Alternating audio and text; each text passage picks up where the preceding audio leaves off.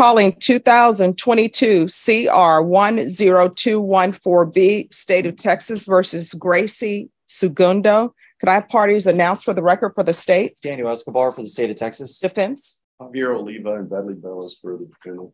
And- Are you Gracie Segundo? Yes, ma'am.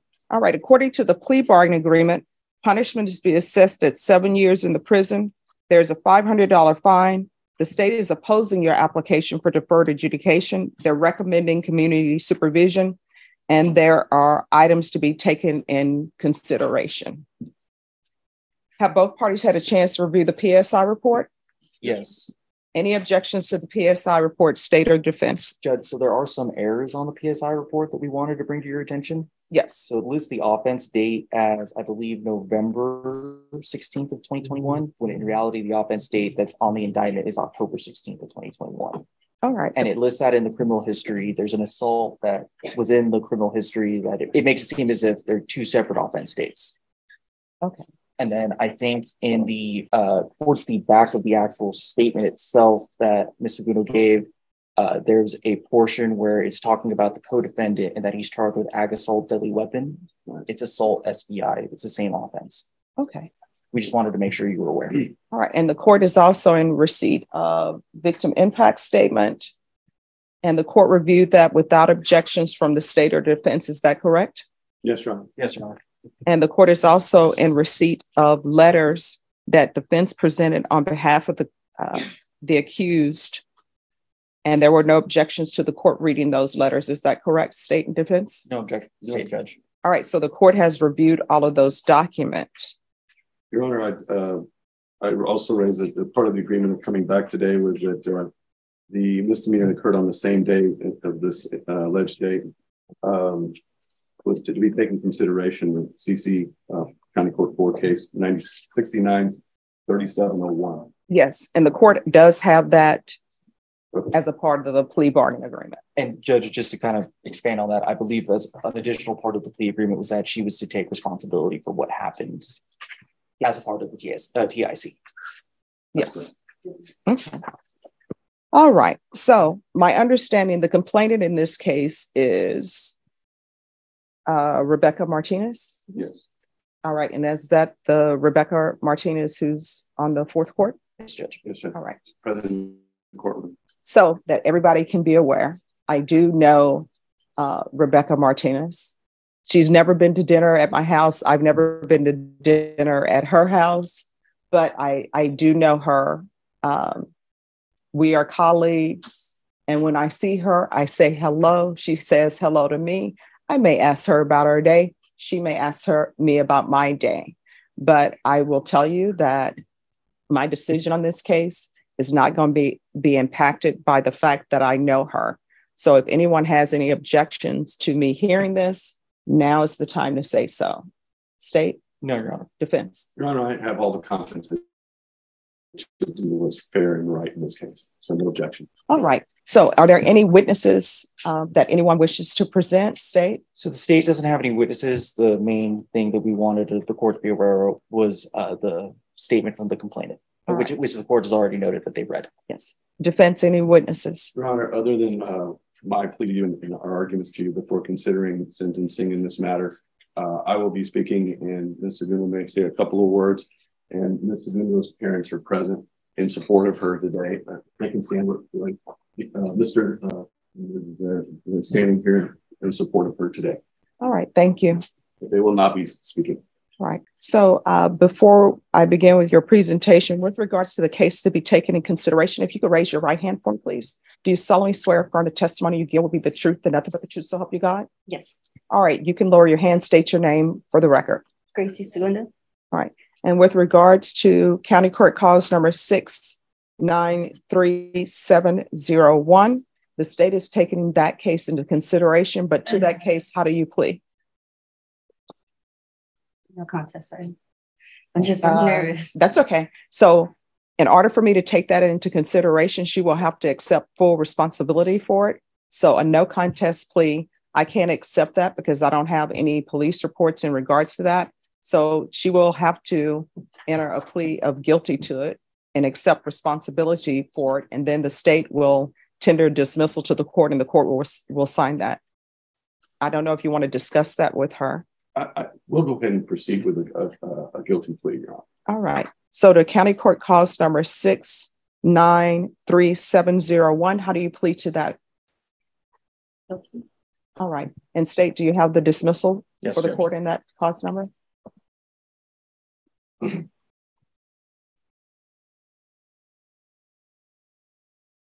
right.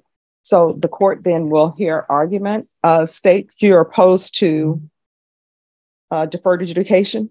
Yes, Your Honor. Uh, the reason why the state is opposed is because of the nature of the offense, the actual underlying facts. It was an assault that occurred where the resulting assault did. It created a lot of issues for the complainant. She was severely injured. Her life was severely impacted from that day forward, and she still feels the impact to this day. Um, it's something that was senseless and didn't need to happen in the first place. So that's why the state is opposing deferred and is asking for probation. Uh, defense. Your Honor, we're here because one incident can't define a, a person for the rest of their life. And this is very serious, and no doubt we take that very seriously. This is a felony charge. It's a felony charge that carries a very significant penalty. But Ms. Segundo, I think, has demonstrated um, a respect not only to others, but to um, to life and to animals and in her work and her career um, in taking care of pets. Um, uh, rarely do I have an opportunity to where a client will provide 32 letters of reference about how wonderful she is with caring for others. And that, that is the life that she uh, defines herself with. Um, she, we just feel like this should not define her as a felon for the rest of her life when she has four children as a single mother. We know that life is difficult and, and it's very, very, very hard and she's having to raise four children on her own, ages 15, 14, 12, and 10. As a single mother, she has to be involved in their school activities and support their activities with FAA. And, and a felon cannot be associated with children and be around them in school activities.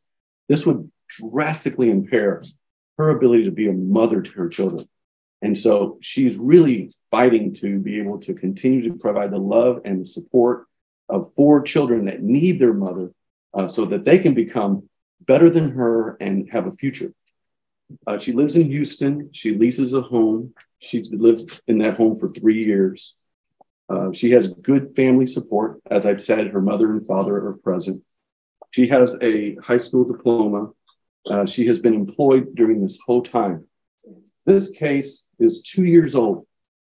Two years this week this happened. And it's been two years that she has been experiencing this and she has complied with everything this court has asked. She's appeared in court. She's traveled to, Houston to San Antonio. She has fully cooperated. She has weighed all of her uh, uh, decisions and sought not to seek a trial, but to put the decision on deciding her future on you. And she made that decision because she felt that was in her best interest. She does receive some child support.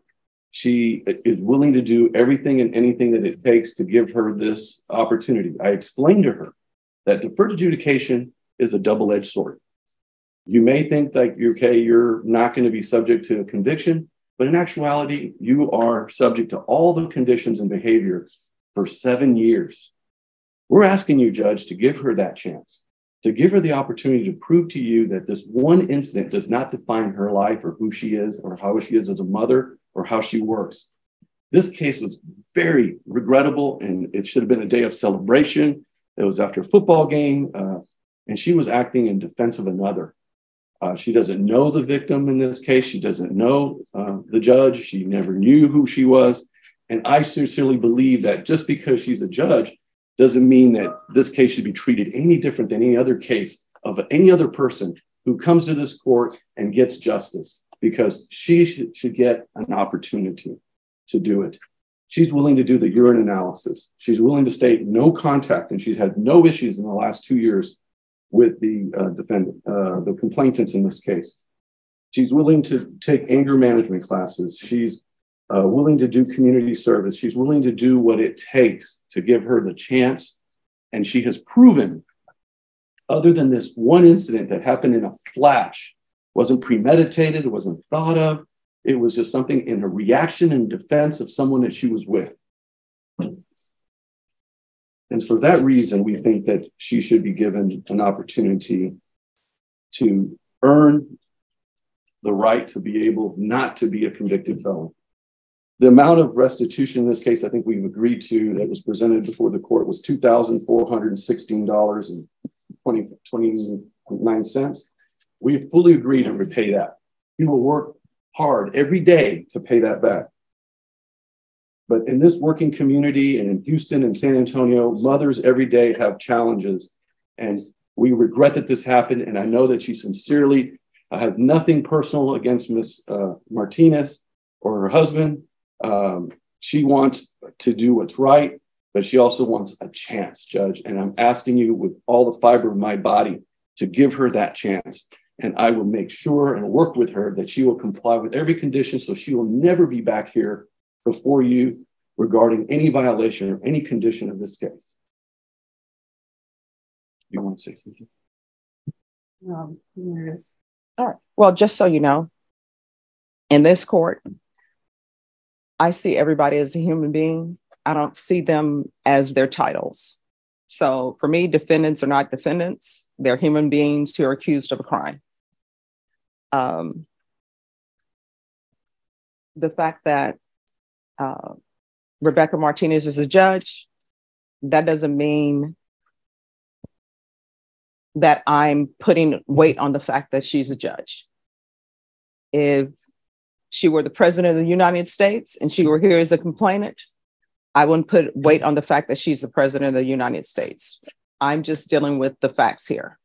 And my job is to look at everything objectively and not outside noise, not what people's occupations are. You understand? So I always reread everything and re- reread police reports and the PSI report, and I've read the letters. I do not understand how the fact that an elevator has a limited capacity, how we go from people saying the elevator is full, you cannot be in, ele- in an elevator to it's a brawl. So explain that to me.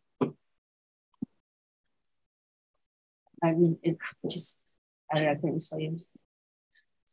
I'll I mean, just, there has to be some sort of thought process. For example, if there's an elevator, I think everybody knows there's a weight capacity on the elevator. Mm-hmm. Me personally, when I see there are too many people on the elevator, I don't get on. But obviously, what we we are here now for is there's an elevator.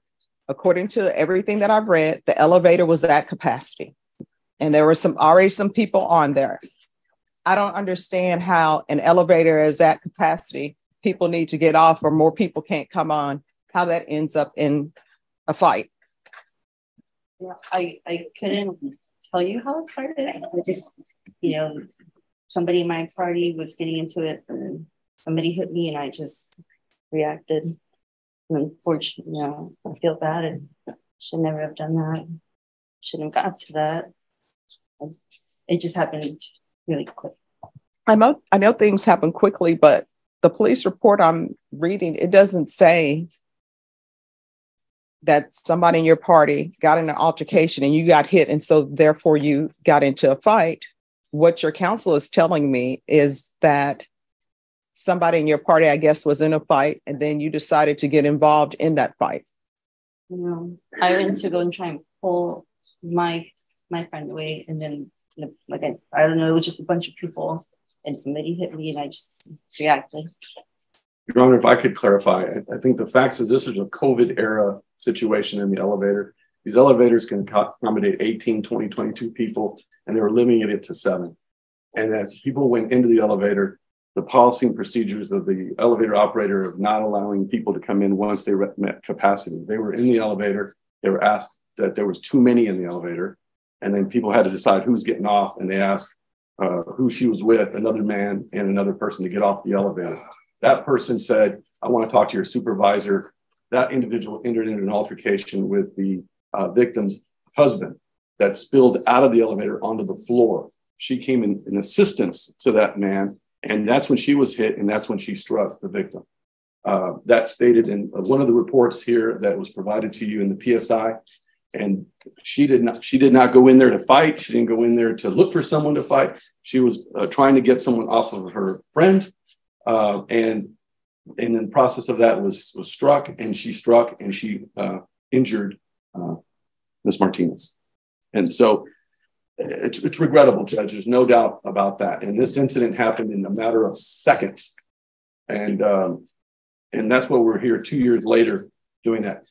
In addition to that, Judge, there is a civil suit in this case where the parties in this case are seeking million dollars in damages against my client. And so this case will not end today. It will continue in a civil matter with a lower burden of proof uh, where she will have to defend herself in a civil cause of action for money damages.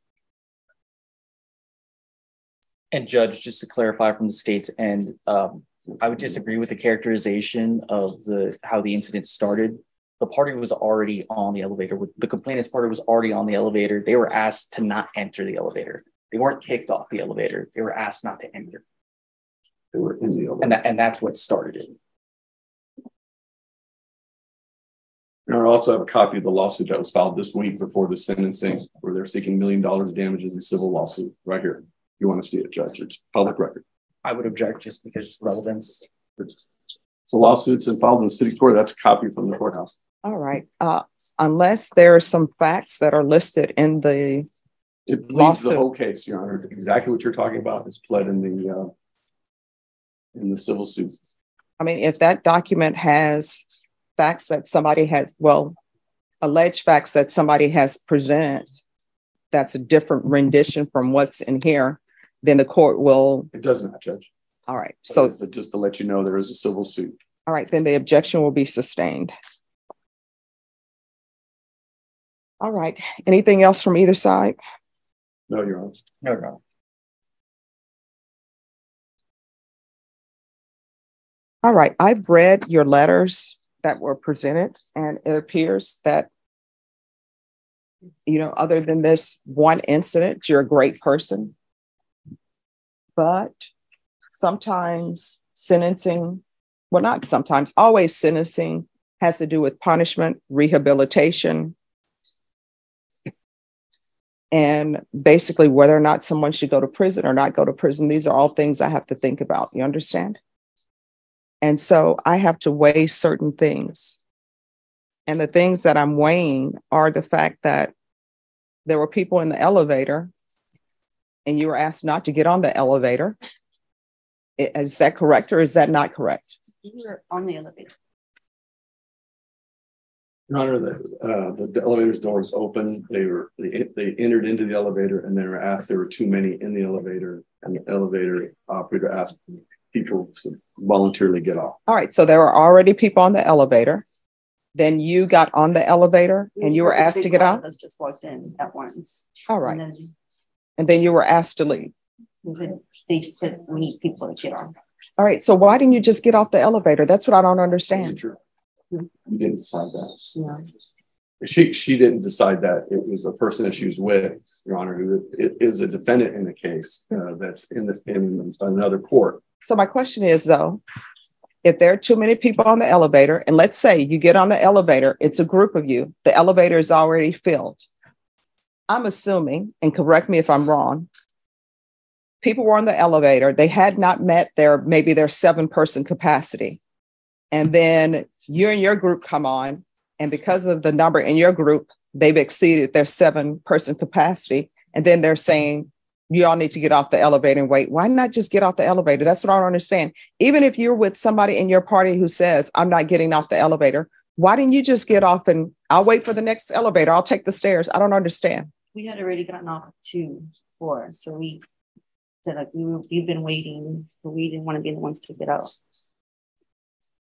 And, and was alcohol involved or people just don't want to after, take the it was stairs? After a football game, Judge. Hmm estate, does anybody want to? Any, I know the complainants are here. Do they want to no, say anything to the court? No, no. Okay. Oh, Your Honor, uh, may I have one moment? Yes. Your Honor, I'm going to call case Martinez. Okay. Your Honor, he- he's not a, he's not a uh, victim in this case. Uh, What, why would he come to? I mean, we'll see what he has to say. I don't know if it's a, he's a relevant witness or not, but if he were present at the scene,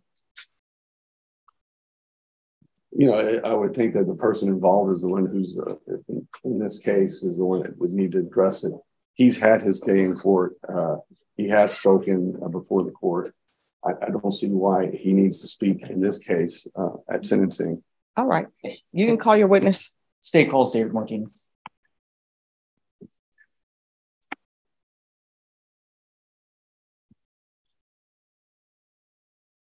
All right. Your Honor. You're welcome. If you can raise your right hand for me, please. Do you solemnly swear or affirm the testimony you give will be the truth and nothing but the truth, so help you God? I do. All right, you can lower your hand if you'll state your name for the record. David Martinez. All right, state. Mr. Martinez, from your memory, what occurred on that day? On that day, we were in line to get into the elevator. Uh, the capacity of the elevator, of course, as I mentioned, was 18. But because of the COVID era, uh, there was an elevator attendant there. She said only eight could be allowed in. We were three couples and two children, which were a total of eight. Uh, as we walked in, we were already in the elevator. They decide to come in behind us. The elevator attendant told them they need to step out. It's full. They had been intoxicated. Her friend. Objection, speculation. Uh, overruled. No, they were No, no, no, no, no. Yeah, here's the thing. Uh, the- where you cannot address the attorneys. Uh, once an objection is, no problem. Once the objection is raised, just stop speaking. I'll make a ruling on the objection. And then uh, I'll let you know if you can continue or not, if you have a question about that. Uh, that objection will be overruled. Uh, he came in, stood at the door, prevented the door from closing, uh, began to, Objection, Your Honor. I I just asked for clarification from the ones. I don't know who he is. Who, which he are you speaking about, sir? uh, her partner. Uh, there was two gentlemen, which was the initial one that started arguing with us, uh, and her partner that she was mentioning that walked in, and uh, they were not. We were already in the elevator already when they decided to block the uh, the door from closing. Uh, can't recall the, the individual's name, but it was a younger gentleman that was with her. Uh, he proceeded to argue with the elevator attendant about, you know, letting them in or not, that it was BS, that they cannot be let, you know, let in because there was a lot of room. And uh, she told him he had to leave. He continued to argue with her, and he said that he wanted to talk to her supervisor. And she says if that's the case, she shut off the elevator. And that's when words were back and forth. They continued berating us. Uh, she was cussing like a sailor, as well as the other ones. We kept quiet, and uh, they started again arguing with us. We stayed in there. The kids were already getting terrified uh, with what was going on. Uh, they started crying, and they continued with their vulgar language. And I, I told, I just told them one time, uh, you know, that's it. You know, if you, the gentleman that was with him, got upset, he literally from the outside ran into the elevator, knocked us all over, and uh, you know, assaulted all of us in there. I grabbed him and I pushed him out. It was not the individual that she says was in there. It was the other individual that was with him that probably hosted them to the game. And he and I went outside. And after that, what? From there, sir, is that is that where everything happened? Correct. Pass it with this judge. Any questions? Mr. Martinez, I'll just start right from leaving the elevator. So Mm-hmm. by the time that you set foot out of the elevator, you're in the middle of a physical altercation. Is I that right? was, uh, yes, while I was on the ground. Okay. How much were you able to perceive about what was happening around you while you were in the middle of that? Well, I was- altercation? I was on the ground. me finish my question. All right, it's, One I'm gonna talk. So my question was, how much were you able to perceive about what was going on around you during the middle of that physical altercation? And I was not able to see when, when I was in the ground, what was taking place after that. Okay, and we can agree that the incident in question, the basis of this criminal case here today is something that happened during the middle of your physical altercation, right? Uh, while I was on the ground, yes, and then afterwards, I did get up and partially uh, saw my wife on the ground with a bloody nose. She was in a daze, and I asked her what happened, and uh, I told her that she got hit. She said, "Yeah, I got hit multiple times." And I said, "Well, why didn't you defend yourself?" She says, "I couldn't because I was being held down." Can you say for certainty whether or not Mrs. Segundo was acting in defense of another whenever she got involved in this incident? I'm going to object to relevance. All right, that'll be overruled. You can answer the question if I- you know. I can't say that, but, uh, you know, I can't, I can answer. Oh, and I understand, Mr. Martinez, the you know, want for justice on behalf of the injuries for your wife. I just want to make sure that we're also serving justice here for Mrs. Absolutely. Segundo today based on her amount of involvement in this incident. And There was so- no, no, go ahead. I'm sorry. Go ahead, please. No, there was only uh two other parties involved, three parties, and and the party, the individual was with me had already left. But it was only her left with her friend. And there was nobody else around. Nobody, there was people watching, nobody was getting involved, but they were the only ones actively, physically getting involved. But, uh, and I know we started this conversation based off what's happening when you're leaving the elevator. Prior to the altercation and leaving the elevator, would you say that in any way Mrs. Segundo was the instigator who was trying to start this situation? I have no further questions. All right, any other questions? Nothing from the state judge. All right, thank you. This is- sir. All right, any other witnesses? No, Your Honor. All right, the court will hear final argument if there is any. Your Honor, I, I think it's clear that Ms. Segundo did not start this incident. Uh, that her actions uh, occurred outside the elevator as a result of defending another person. Uh, she doesn't deny that she struck uh, Ms. Martinez, uh, but this was a, a, a situation where she was struck as well. And uh, we believe that this one incident that wasn't premeditated, it wasn't started or caused by her, you know, it, it reminds me of, of, of, a penalty and another individual comes in their aid and then another flag comes up for a penalty and they both uh, get penalties. And most cases in sports, that's an offsetting.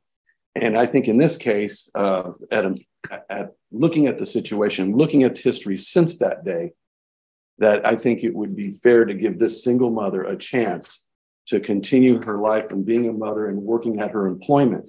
So not to have this crash down on her with her children, with her workplace. Uh, we can't promise that she will uh, keep her job upon con- uh, this conviction. We cannot promise that she can be able to parent her children and be the primary caretaker of her children as a result of this conviction. But we can promise that if she is given a chance, she will do everything in her power to remain on probation for seven years to do what's right, so not to be considered a felon in a situation that she wished never had happened. There's no ill will here. There is no desire on her part to do anything but to, to move on with her life and pay what's owed, uh, the $2,500, and do what it takes to win your trust. So we're asking, Judge, that deferred adjudication be given to this woman so that she can continue to do her life and do good for her children and her, her work and her community. Uh, state any final arguments? Your Honor, the concern from the state here is again the facts of the case. It's that yes, she wasn't the instigator, but she chose to take it to this level. It was her choice to take this out on the complainant. It was her choice to get involved against the complainant and to not show restraint.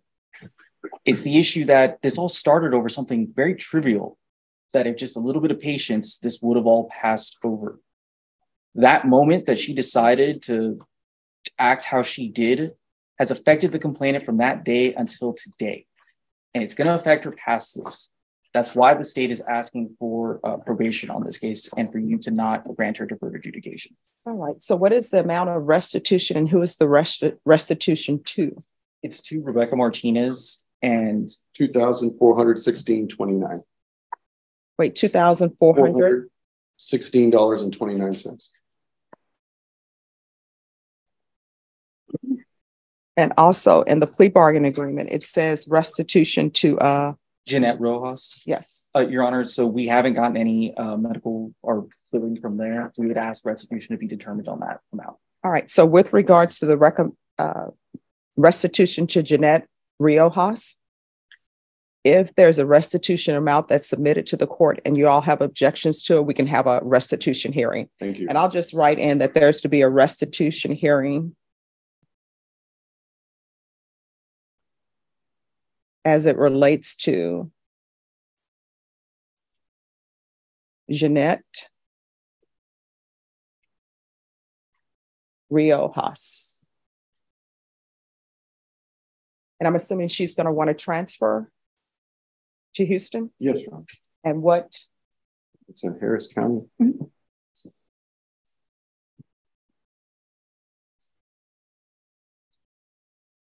All right. Ms. Segundo, I've listened to all arguments. I want you to know I paid very close attention to the arguments that were presented, to the witnesses, and to all of the documents that the court reviewed. I realize that sometimes when things happen, it's just a Snapchat or somebody's life, right? It doesn't mean that the person is a horrible person. And I'm sure if people could go back and change things, sometimes people are serious when they say, if I could go back and change things, I would. Maybe I never would have went to the game. I would have just let the elevator went. I would have taken the stairs. I understand that. But we can't turn back the hands of time, right? And the problem uh, in this case, and one of the things that I'm looking at is the fact that the complainant has serious injuries. And it has nothing, my consideration on whether they're a judge or not that's not playing any factor in my decision. If um, she did not have that occupation, let's just say she worked at the HEB, for example, then based upon her on her injuries, she wouldn't be able to work at the HEB. She wouldn't be able to stock. She wouldn't be able to stand and be a cashier. I don't know what they would have her doing at the HEB. You understand? So her injuries are very serious injuries. And I've read the report uh, that was given to me about her injuries, and I've read the PSI report, and I've read um, the police reports again in this case because I always like to uh, review things. So I understand that you're very sorry for what happened, but sometimes, yeah, it's great that you're sorry. It's great that you've inter- internalized things, but there is still some punishment associated with it. And I understand that sometimes when people have felony convictions, they say, well, now I can't do this, I can't do that, I can't do this. But then when you look at the complainant, complainant has some lifelong issues. And that's the report that I was given and that your attorney has read. The injuries that she suffered are not going away. And from the report I read, it sounds like they're never going away. She's always going to have those injuries. And I think you know that when people have broken bones, there's a change in the weather, their bones ache. I have it with my fingers because at one point in time, all my fingers were broken on my left hand. So I know when the weather is changing, it gets a little bit painful, not unbearably painful, but it does. So those are a whole host of things that happens when somebody suffers the injuries that she suffered. I understand, as I said, that you're sympathetic, and I believe that you're sympathetic. And if you could do things over, you would. But I am where I am right now, okay? All right, this is what the court is do, going to do. Court will find you guilty, sentence you to seven years in the prison, suspended and probated for five years. There's a $500 fine that will be probated. There's a transfer to Houston, Texas, Harris County taking consideration County Court Cause number 693701, there's to be restitution of $2,416.29 to Rebecca Martinez. There's to be no contact with Rebecca Martinez or Jeanette Riojas. Proof of employment within 45 days. There's to be no employment as a home health care provider with minors. 100 hours of community service restitution. That'll be waived once you complete parenting classes. There's to be regular reporting by Zoom or in person, regular UAs, and restitution hearing as it relates to Jeanette Riojas.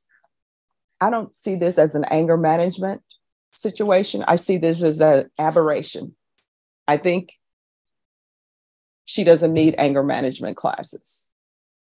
So, is there anyone going to object to me not giving her anger management classes? The state won't object, Judge. All right. Probation, is there anything else she needs? No, Your Honor. Is there anything else you need from the court to be successful? Mm. All right. I'm going to show you what's entitled Trial Court Certification of Defendant's Rights to Appeal. Did you review that with your attorney? Did you understand it? And did you sign it? All right, because this is a plea bargain agreement, because I followed your plea bargain agreement, and because you waive your right to appeal, you do not have the court's permission to appeal. Because this is a felony conviction, you're not allowed to own or possess any weapons or ammunition. If you have a question of what a weapon or ammunition is, you'll need to speak to an attorney. Do you understand? All right, we can go off the record. So, what I've learned in my time on the planet, it's just best when somebody says, Oh, you can't do that, and you want to argue about it pick another day to argue about it. You understand? All right. Good luck to you. Thank you.